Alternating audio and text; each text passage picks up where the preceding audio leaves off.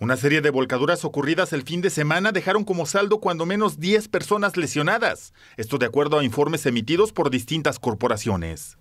El primer caso ocurrió la noche del viernes en el municipio de Canatlán, donde en la carretera a Nuevo Ideal volcó una camioneta Chevrolet cerrada, cuyos tres ocupantes resultaron con golpes diversos. Al día siguiente, por la mañana, pero en el bulevar Enrique W. Sánchez, también de Canatlán, volcó una camioneta pick-up en la que también iban tres personas que resultaron lesionadas, ninguna de gravedad.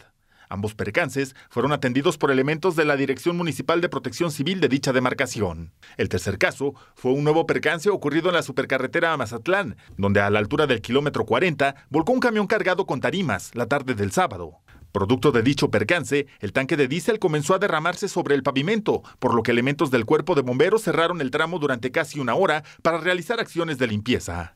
El cuarto incidente también se registró el sábado por la tarde en la carretera a la Ferrería.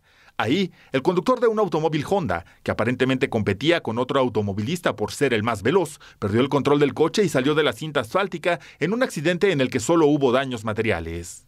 La serie de cinco volcaduras registradas el fin de semana ocurrió en el periférico de la ciudad, a la altura de la ciudad industrial, el domingo por la noche.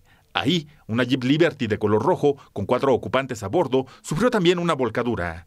Una adulta de 43 años, así como tres niños de edades variadas, resultaron lesionados en este percance, por lo que fueron trasladados a distintos hospitales de la capital del estado.